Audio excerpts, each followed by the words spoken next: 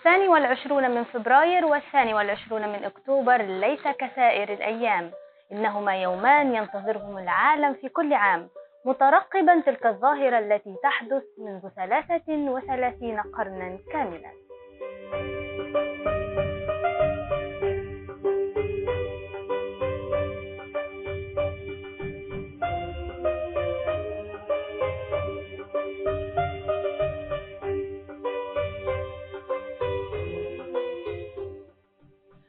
أقصى جنوب مصر وبالتحديد في معبد أبو سمبل بمحافظة أسوان وعند الساعة الخامسة واثنتين وخمسين دقيقة من اليوم الثاني والعشرين من أكتوبر والذي يقال أنه يوافق يوم ميلاد الملك رمسيس الثاني يتسلل شعاع الشمس بهدوء لمسافة 200 متر ليهبط على وجه الملك رمسيس الثاني داخل حجرته في قدس الأقداس ويستمر هذا التعامد لمدة 20 دقيقة.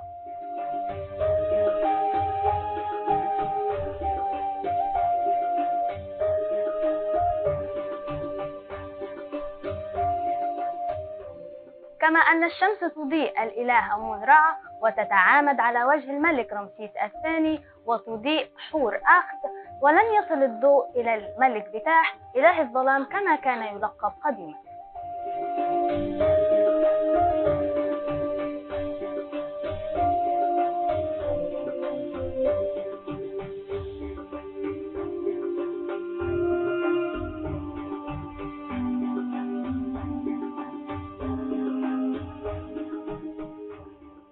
يشار إلى أن هذه الظاهرة اكتشفت عام 1874 حيث قامت المستكشفة إيميليا إدوارد والفريق المرافق لها برصد هذه الظاهرة وتسجيلها في كتابها المنشور عام 1899 ألف ميل فوق النيل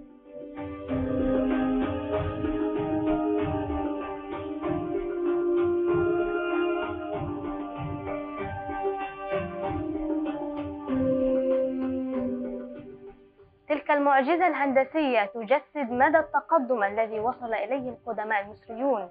فهي تستلزم معرفة تامة بكافة أصول علم الفلك وحسابات كثيرة.